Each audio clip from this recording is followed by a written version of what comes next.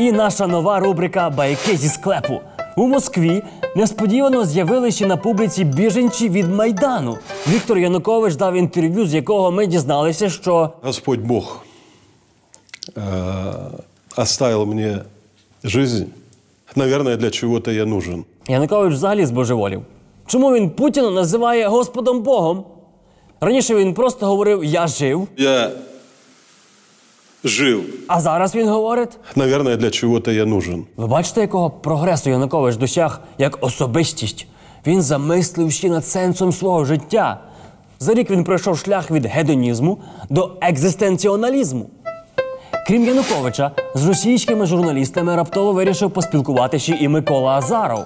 Пользуясь случаем, я хочу обратиться к нашим соотечественникам. Пользуясь случаєм, схоже, Микола Янович так і не позбувся шкідливої звички щотижня дивитися поле чудес. Пользуясь случаем, я хочу ему передать привет. Після цих слів Азаров мав би подарувати ведучому банку квашеної капусти чи діючий макет лопати з пап'ємаше. Пользуясь случаєм. 34 хвилини пан Азаров користувавшись случаєм. 34 хвилини. І користуючись нагодою, хотілося би поговорити про книгу пана Азарова, яку він нещодавно опублікував. Это его книга «Настоящий политический триллер» о том, почему стабильная Украина докатилась до кровавой смены власти и братоубийственной войны. Але крім чого, в своїй книжі пан Азаров багато згадує про своє минуле.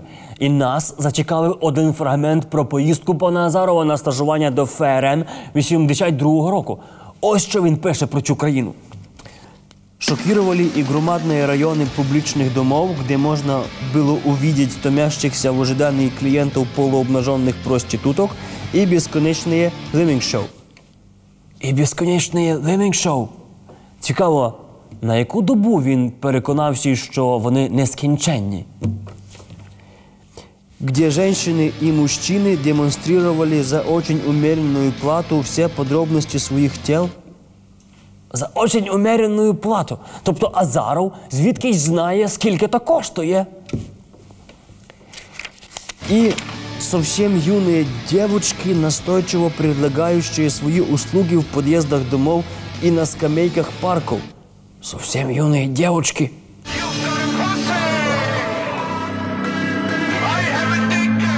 Це мерзость. Це реально мерзость, типи. Головний висновок, який можна зробити з цієї розповіді, це те, що Микола Янович, замість того, щоб у вільний від стажування час чинно відвідувати музеї, лекції та спортивні змагання, відсмалював у найбільш сороміцьких районах німецьких міст.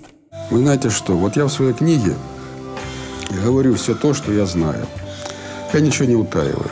Я говорил так, как оно есть. Я завжди Азарова сприймав як сухого стриманого дідугана. А він, виявляючи в молодості, таке витворив. А як він виглядав в молодості? О, так ось кого в кварталі червоних ліхтарів Гамбургу і досі пам'ятають за прізвиськом Хтивий Калузький пустун.